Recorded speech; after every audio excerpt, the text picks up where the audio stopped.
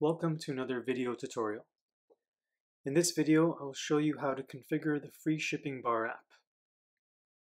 Before you create a bar, you'll first need to create your free shipping rule in your Shopify admin. You can follow the steps shown in the app's dashboard to do this. Once you have done this, you can create your bar. Let's get started. I will first select the template. Once you select the template, you can see how it looks in the preview.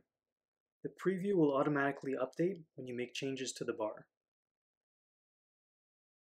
I want to set my free shipping goal to $50 to increase my average order value amount.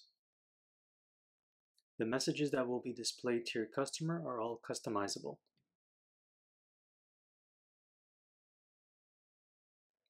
You can use one of the five default display options under Style Configuration, you can set the background color of the bar, the text color, and the color of the dollar value. You can also use a background image or a different font. You can also set your font size, bar padding, and a few other options.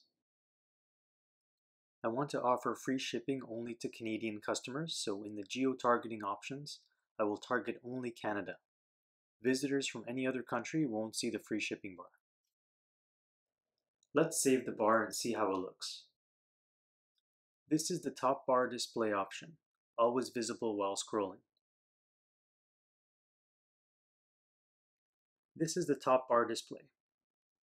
You can select the display option that works best for you. Thanks for watching. Please let us know if you have any questions.